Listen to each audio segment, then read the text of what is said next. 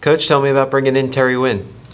Well, I think he's uh, he gives us experience, a tough physical guy, um, score and rebound, and could give us something down in the post. I think he, you know, he's good out to 15 feet and in, and uh, but most of all, I think he brings us toughness. We, you know, some natural toughness. When he comes in right away, you know, he'll be able to practice with the team for a little while before he's able to actually play. How much will that help to have somebody of his caliber in practices? I think it'd be good, you know, to, to he helps our second team out and helps our um, first team go against somebody with a, uh grittiness and toughness that we are faced during the league.